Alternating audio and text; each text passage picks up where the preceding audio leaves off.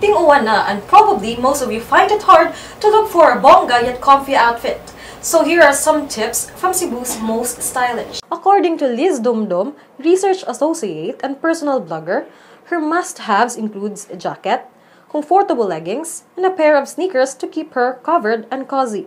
For Alam Garcia, a vlogger and ukay-ukay diva, preferred niya ang flared jeans, loose pants, and long-sleeve tops finished with the right amount of attitude.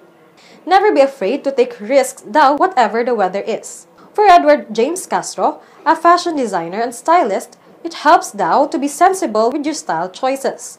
Stock upon on classic pieces in neutral shades, especially if you're always on the go. In the picture, he is wearing a denim jacket over a gray cotton shirt, a pair of comfy black chinos, and he finished his look off with some silver sneakers to add some extra kick to the basic assemblage. For fashion blogger Ching Sadaya, her advice, choose layered outfits. Wearing lightweight materials as your base outfit like cotton bodysuit, pair with culottes and carry a statement of coat or zip up anorak to layer it over when the weather reaches it.